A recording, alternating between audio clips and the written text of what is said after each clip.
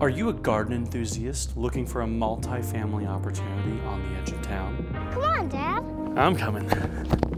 Welcome to another door experience. I'm your host, Paige West. And I'm Tim Rist, and we're coming out you just outside of Philomath, Oregon, about five minutes from downtown on Old Peak Road. This is a beautiful property, huh?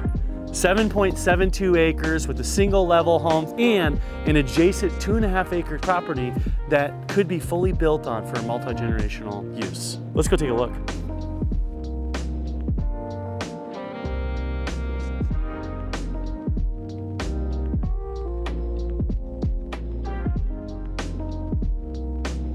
This is one of many of my favorite places out here where there's an outdoor fire pit and a covered patio. You can enjoy this from basically all year round.